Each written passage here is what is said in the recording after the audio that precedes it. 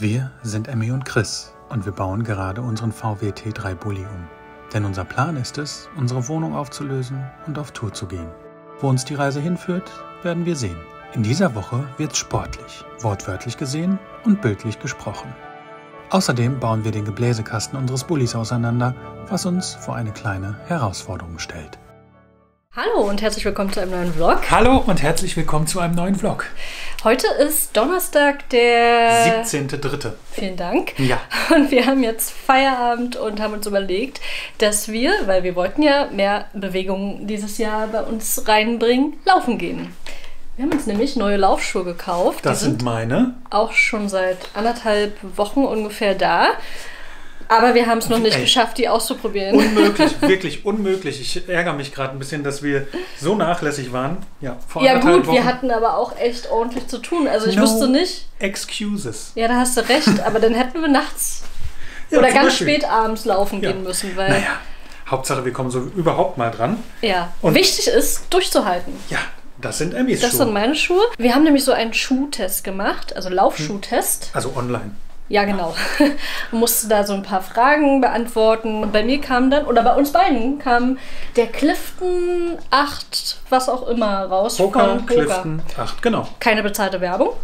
Wir wissen ja auch noch nicht, wie der ist. Wir probieren das jetzt. Auf jeden Fall sind die super leicht. Wir hatten sie nur einmal an, bisher hier in der Wohnung und waren schon begeistert, Ja. ähm, wie anders dieser Tragekomfort ist, weil wir hatten beide bisher nur so richtig, ich will es mal sagen, Billo-Schuhe und es hat keinen Spaß gemacht, damit zu laufen. Deswegen glaube ich, dass es hiermit deutlich mehr Spaß macht. Und ich bin gespannt, wie ich mit der Größe klarkomme. Das wollte Ja. ich eigentlich auch noch kurz erzählen. Ich habe nämlich Stimmt. sonst immer eine 37, 38, also schon seit Jahren, seitdem ich gefühlt nicht mehr wachse, dachte ich eigentlich immer, ich hätte eine 37, 38. Eine 37 in Sommerschuhen, da, da haben Schuhe am ehesten bei mir gepasst, aber jetzt haben wir ähm, das nochmal genau verifiziert, wie man die richtige Schuhgröße rausfindet. Und es ist so, dass wenn man die, also die exakte Fußlänge in Zentimetern abgemessen hat, sollte man noch anderthalb Zentimeter dazu rechnen. Dann gibt es eine Tabelle, da kann man dann gucken, welche Zentimeterlänge man hat und welche Größe ähm, man dann entsprechend hat.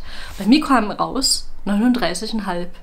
Und ich war total baff, weil Anderthalb 39, Schuhgrößen das mehr. ist so heftig. Ich habe immer eine 37, 38 gehabt und jetzt habe ich eine 39, ein Drittel hier bestellt. Habe mich auch sehr schwer damit getan, weil ich dachte, das ist doch viel zu groß. Aber als ich die anprobiert habe, macht das einen guten Eindruck. Und ich glaube, bei Laufschuhen ist das gar nicht mal so verkehrt. Man braucht auf jeden Fall ein bisschen Platz vorne.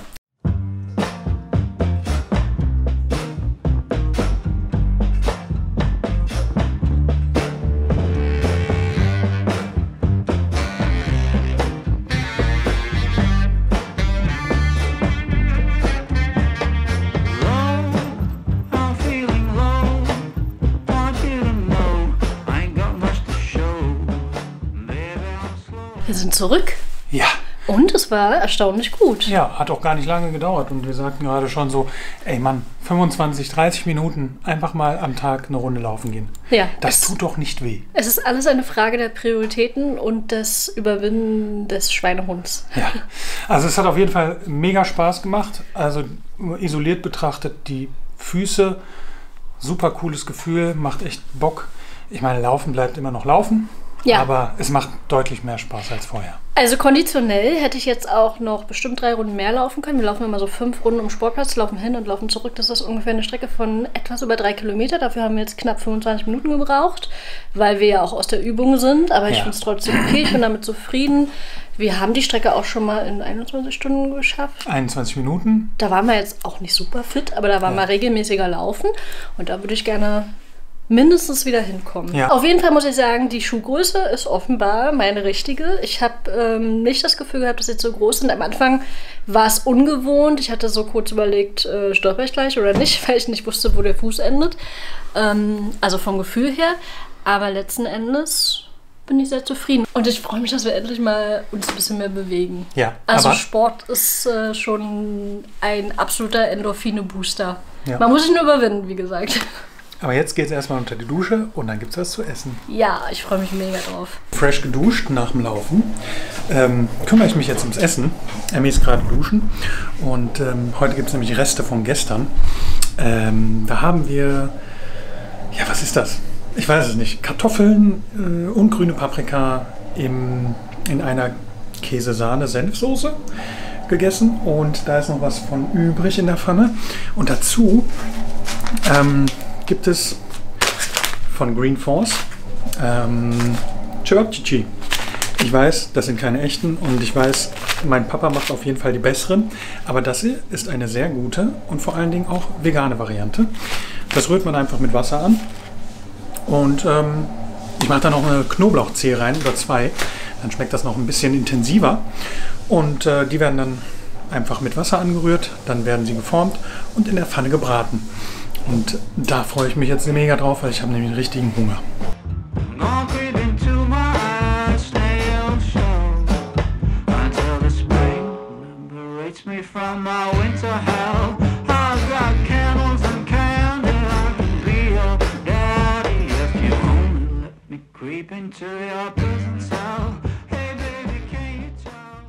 Und das Ganze kommt jetzt für ungefähr 30 Minuten in den Kühlschrank.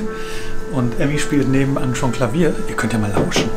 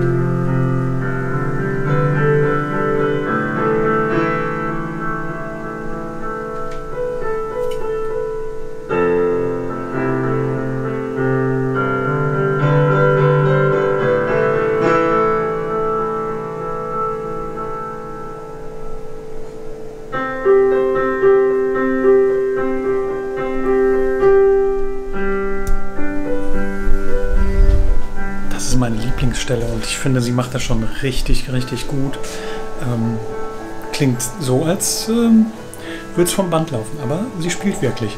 Ich wollte jetzt nicht reingehen, weil dann bringe ich sie aus dem Takt und dann, ähm, ja, vielleicht ärgert sie sich dann. Deswegen eine kleine Kostprobe für euch. Ich stelle jetzt die Cevapcici in den Kühlschrank und ähm, ja, ich muss jetzt auch noch ein bisschen was machen zum Beispiel meine News recherchieren für morgen schon mal, weil ich habe morgen Frühschicht und ähm, muss ins Büro und da muss ich immer ganz früh los und deswegen ist es immer besser, wenn ich die News schon vorher recherchiere und dann nochmal morgen nach Updates gucke. Von daher werde ich das jetzt auf jeden Fall schon mal machen und gleich gibt's Essen.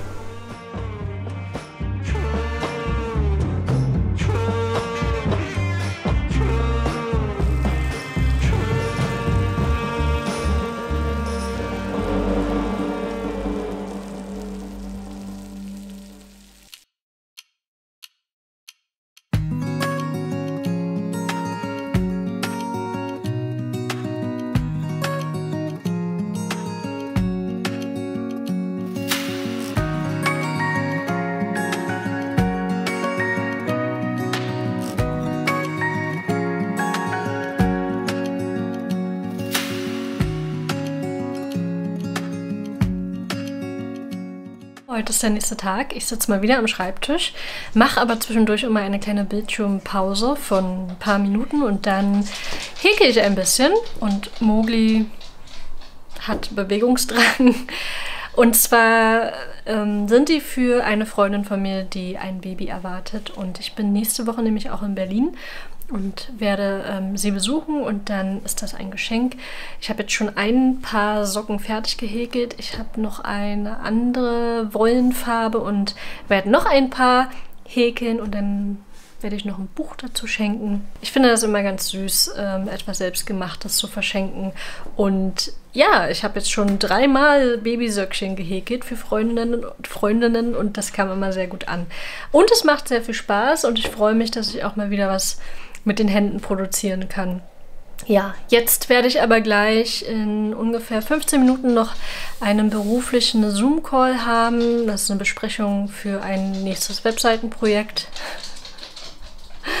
Ich weiß nicht, was mit diesem Kater los ist. Und danach werde ich wahrscheinlich noch ein bisschen an Webseiten arbeiten und dann werde ich die Bude putzen. Denn Christian ist heute wieder im Büro und ich nutze ja dann immer die Gelegenheit, dass er nicht von zu Hause aus arbeitet, weil ich ihn dann nicht stören muss mit äh, Staubsaugerlärm und so. Und um 17 Uhr habe ich ein, ja, so eine Art Vorstellungsgespräch. Also es wäre ein weiterer Auftraggeber und dann bespreche ich mit äh, ja, dieser Firma, beziehungsweise mit der Vertreterin dieser Firma, ähm, wie wir da irgendwie zusammenarbeiten können, wie ich unterstützen kann. Und ähm, ja, habe mich quasi als freie Cutterin, Videografin und Texterin beworben. Und ich bin ganz gespannt und es wäre ganz cool, wenn das klappt. Dann hätte ich eben noch einen Auftraggeber. So sieht der heutige Tag aus. Ich habe, glaube ich, abends auch noch mal einen Zoom-Call. Ich bin mir gerade nicht sicher, ob ich das schaffe. Ähm, und Christian kommt um 17 Uhr von der Arbeit. Mogli ist jetzt mittlerweile auf dem Schreibtisch. Ich glaube, er braucht ein bisschen Aufmerksamkeit. Äh, die werde ich ihm jetzt geben vor dem Zoom-Call. Und äh, wir hören uns später bestimmt nochmal. Mo, nicht auf die Socken.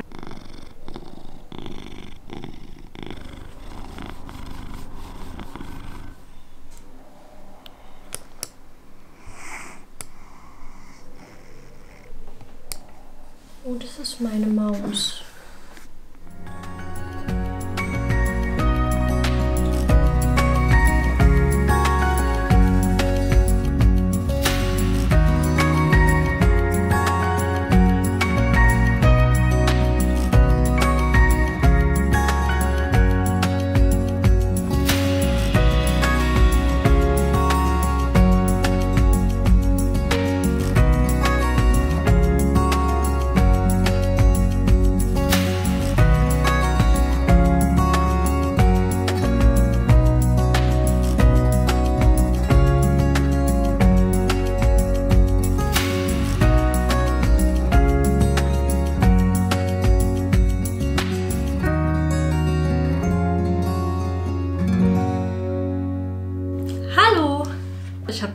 Mediendesign studiert. Erst, habe dann auch eine Weile als Grafikerin gearbeitet, fand aber Bewegtbild dann ein bisschen spannender, bin dann zum Fernsehen gekommen, habe dann eine Ausbildung gemacht als Redakteurin und Reporterin und habe da eigentlich, ja, von der Pike auf, möchte ich jetzt mal sagen, ähm, dadurch, dass ich erst als Praktikantin angefangen habe und dann Redaktionsassistentin, Produktionsassistentin, ähm, gelernt, wie man so Dreh, Drehs aufbaut. Habe dann auch eine Weile als Redakteurin und Reporterin gearbeitet und ähm, dadurch, dass ich ja schon immer irgendwie neben dem Studium auch sehr, sehr viel gearbeitet habe und auch immer zwei, drei Nebenjobs nebenher hatte, ähm, war ich doch schon sehr überarbeitet, sage ich mal, dass ich dachte, okay, jetzt vielleicht mal ähm, ein Jahr reisen, weil ich das äh, nie gemacht hatte bisher vorher. Ähm, und habe von dort aus äh, auch nochmal so als Redakteurin gearbeitet. Das war irgendwie ganz spannend für mich auch nochmal, um auch nochmal selbst zu wachsen und auch um nochmal klar zu werden, was ich eigentlich wirklich beruflich möchte. Und ähm, ja, habe dann äh, nochmal das theoretische Wissen im Medienbereich irgendwie vervollständigt, indem ich nochmal ein Studium angefangen habe. Da bin ich jetzt auch noch an den Endzügen, weil ich habe erst nochmal einen Zweifach-Bachelor gemacht, Deutsche Sprache und Literatur und Medienkulturwissenschaften. Und jetzt bin ich im Masterstudium und mache jetzt nur noch die Abschlussarbeit, bin dann fertig und bin seit äh, 2018 September selbstständige Videografin.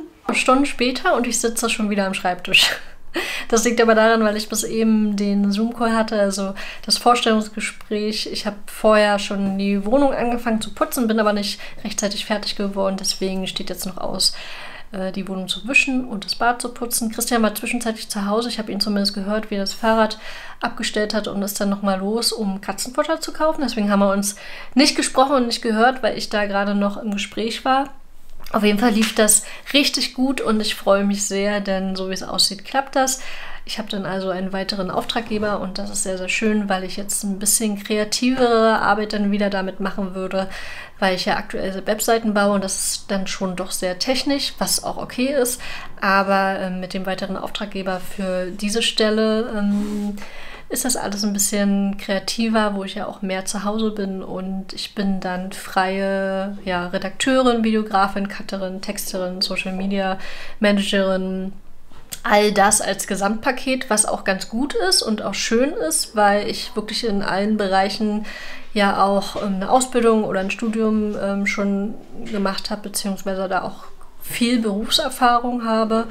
Und ähm, deswegen ähm, ja, hat das die Auftraggeberin sehr gefreut, dass das bei mir alles irgendwie so zusammenläuft und ähm, ja, man dafür quasi nur eine Person beauftragen müsste.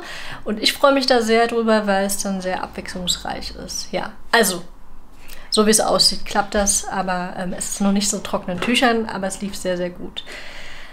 Ja, jetzt höre ich die Tür gerade wieder. Ich glaube, Christian ist zurück. Ich werde jetzt schnell die Wohnung wischen, wie gesagt. Und dann habe ich gleich noch eine Zoom-Call. Ich glaube aber nicht, dass ich das pünktlich schaffe, weil ich will danach noch duschen und unbedingt was essen, denn ich habe jetzt schon großen Hunger.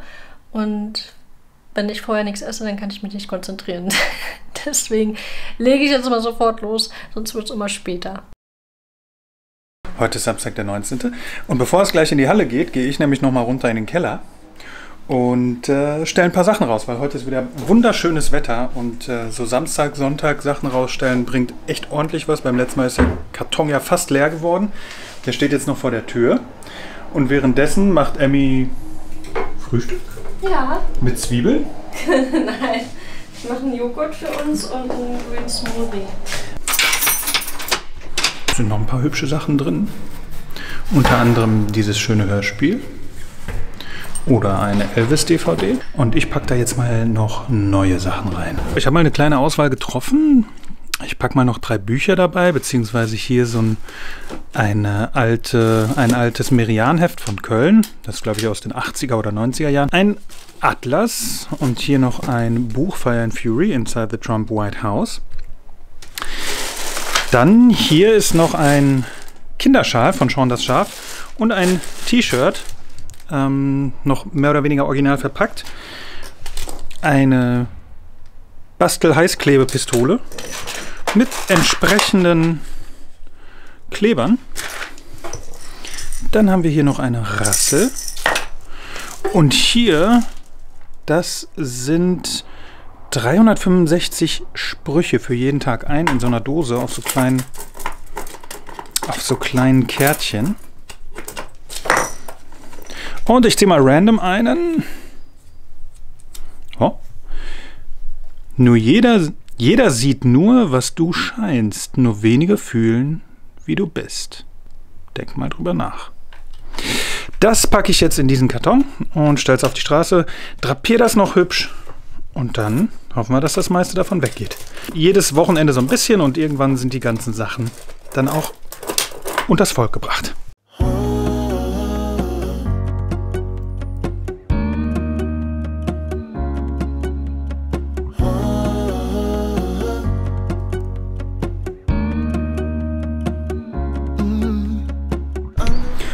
Das war ganz schön knapp. Fast wäre mir die Kamera gerade auf den Boden gefallen, als ich die Sachen hier drapiert habe. Ich habe es jetzt hier alles schön hingestellt. Ich hoffe, dass die Sachen mitgenommen werden und dass sie ähm, gute neue Besitzer finden. Also es ist auf jeden Fall eine schöne Auswahl an Büchern, CDs und anderen Sachen.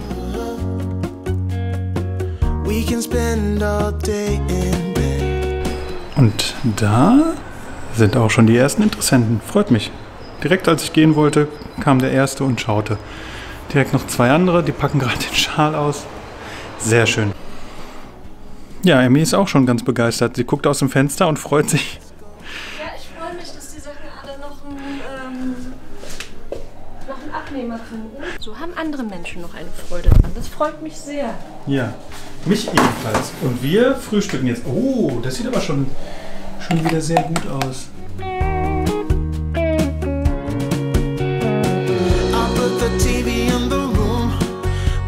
A Netflix marathon. Kenny G saxophone. We'll order in a bunch of food.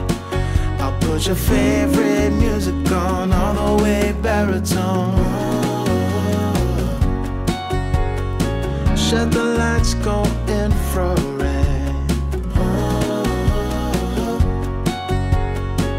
We can spend all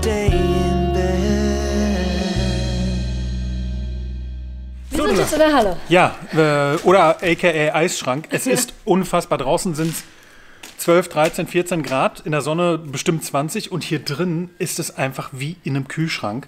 Deswegen werden wir auch heute, wir wollen uns ja. Moment! Um unseren Klappenkasten kümmern. Den nehmen wir nämlich mit raus, bauen Böcke auf, packen da eine Palette drauf und stellen uns draußen in die Sonne. So, Ja, und nicht nur, weil es hier so kalt ist, sondern weil wir eben auch testen wollen, wie es mit dem Staub dann so sich in unseren. Was erzähle ich hier? Wie es sich mit dem Staub verhält und wie sich dieser Staub oder Nicht-Staub auf unsere Kopfschmerzen auswirkt. Richtig. Weil wir ja beobachtet haben, dass wir vermehrt äh, Sonntagskopfschmerzen haben.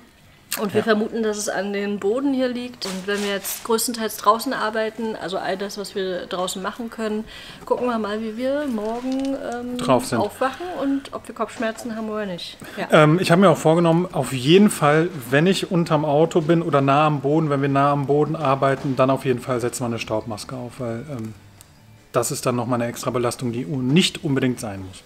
Aber genug gequatscht, wolltest du noch was sagen? Nö, ich freue mich, dass ich nur einen Pullover auf der Fahrt hierher hatte. Und ich ähm, liebe es, dass der Frühling hoffentlich jetzt bald anfängt. Und äh, wahrscheinlich, wenn wir erstmal hier eine Stunde sind, habe ich wieder fünf Pullover an. Aber gut. Wir gehen raus in die Sonne.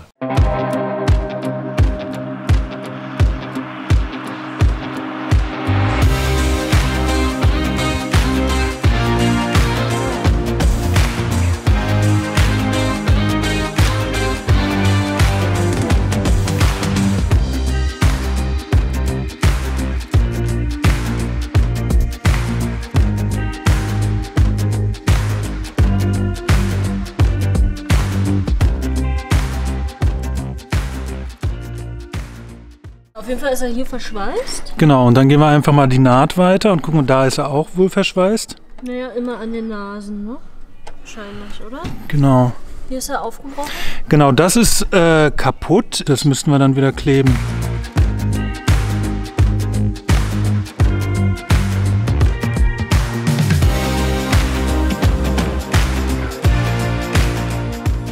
Wir versuchen uns gerade tatsächlich ähm, mit äh, netter Unterstützung von Daniel diesen Kasten aufzumachen, aber er ist ziemlich gut verklebt. Und ähm, jetzt haben wir die Überlegung, die Klebestellen einfach mal ein bisschen mit dem Heißluftföhn heiß zu machen, sodass wir da besser reinkommen.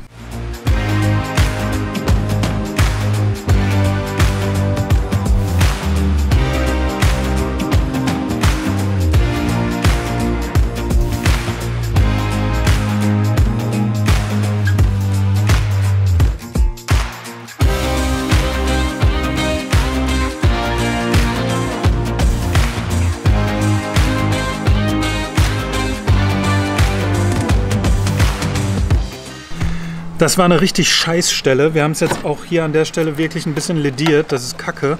Aber es ist so heftig verklebt. Aber wir haben es jetzt hier auch auf. Hier, das muss nochmal rausgezogen werden. Oh, Entschuldigung. Ach so, ah. Dann- okay. Ah.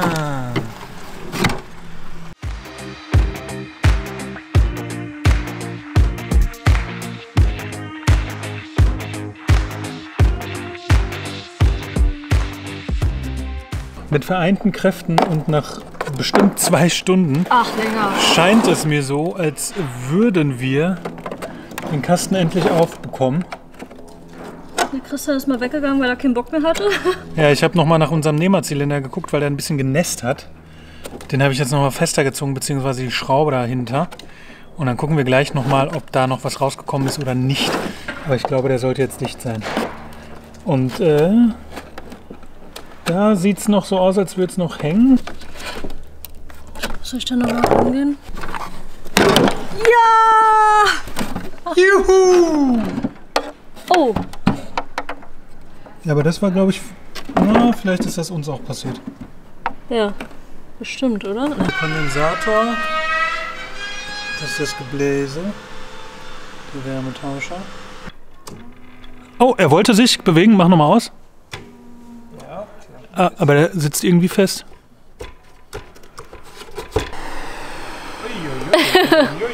Zwei. Eins. Aus. Eins. Zwei.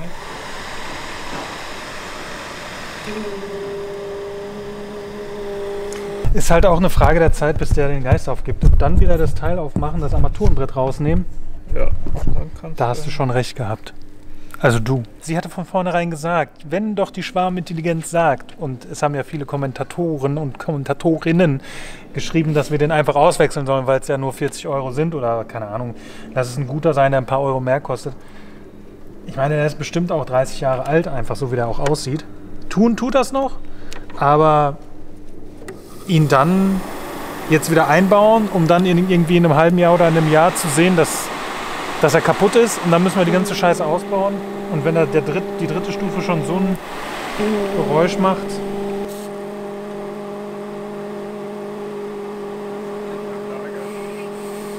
Den Wärmetauscher wollen wir auch mal jetzt rausnehmen. Der ist hier ein bisschen oh, an diesem bröckligen, was auch immer, Dicht, ne? Dichtband festgemacht. Oh ja, hallo. Oh, wer wohnt denn da? Da wohnen bestimmt einige Tiere. Die armen Dinger. Aber der Tauscher an sich sieht noch gut aus. Nirgendwo Ja. angegammelt. Ja, cool. Dann machen wir jetzt mal die Sachen sauber und dann schauen wir mal weiter. Die Sonne ist weg, wir haben das Tor vorne zugemacht.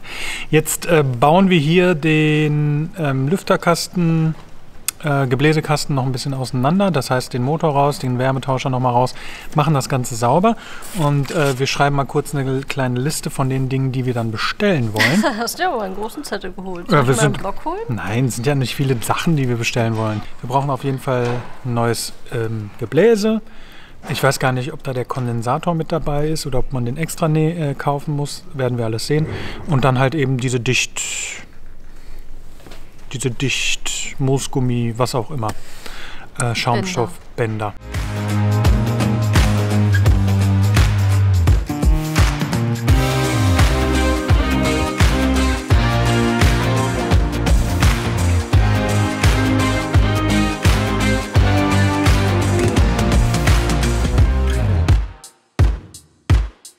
durch für heute. Christian war gerade ganz fleißig und hat die ganze Zeit im Badezimmer hier bei uns. Da gibt es nämlich äh, auch eine Dusche und Waschbecken, weil das hier eine alte Squashhalle war und hat die beiden Teile ähm, schön von Staub befreit, währenddessen ich hier von dem Wärmetauscher die ganzen Schaumstoffreste irgendwie versucht habe mit dem Cuttermesser abzumachen. Es ist jetzt auch noch nicht restlos durch, fertig, sieht, ähm, aber ja.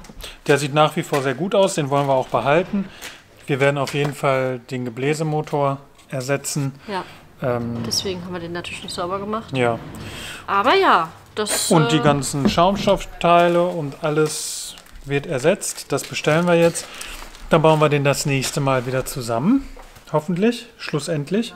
Ja, wir waren eigentlich recht erfolgreich, Ja. weil wir unser Minimalziel erreicht haben, aber es hat doch sehr, sehr lange gedauert. Also der ganze Tag äh, ist dafür draufgegangen, weil das Gehäuse sich nicht so einfach lösen Ja. lassen hat. Ja. Wir haben super lange rumprobiert mit äh, Heißluftföhn und Cuttermesser und das war jetzt vielleicht noch nicht, nicht die optimalste Lösung, aber mit dem Multitool hat es eben auch nicht geklappt, weil es ist leider kaputt gegangen. Ich weiß nicht, ob Christian das erwähnt hatte. Nee, Ähm, ich wollte nur mal zeigen hier, äh, man kann das vielleicht etwas erahnen an den Nasen hier. Ähm, teilweise war es doch etwas mm, Mühselig. mühselig und auch mit etwas äh, Gewalt, sagen wir mal. Ja, und der Frustrationsgrad war auch zwischenzeitlich sehr hoch. Ja. Aber ja, wir, Wir haben es jetzt geschafft. Hingekriegt und wir freuen uns darüber sehr. Und ähm, das war auch auf jeden Fall nötig, wenn ich mir die ganzen Tierchen, die da drinnen auf dem Wärmetauscher waren, angesehen habe. Dann äh, bin ich doch sehr froh, dass wir das aufgemacht haben. Richtig. Ja. Ja, dann fahren wir jetzt nach Hause. Es ist auch wieder schön kalt geworden in der Zwischenzeit. Das ist Ja, total krass. Heute das Morgen Schöne ist- stand ich noch im T-Shirt da und jetzt wieder mit fünf Pullovern. Das Schöne ist, es ist jetzt noch hell. Ja, Und ähm, das wollen wir stimmt. ausnutzen, bevor es jetzt dunkel wird, wollen wir endlich mal im Hellen nach Hause fahren, weil wir sonst immer im Stockduster nach Hause fahren und das ist natürlich auch was Schönes. In diesem Sinne würde ich sagen, beenden wir das Video. Wir hoffen, es hat euch gefallen. Zeigt uns das gerne mit einem Kommentar oder mit einem Daumen nach oben Und dann sehen wir uns im nächsten Video. und sagen bis dahin. Tschüss.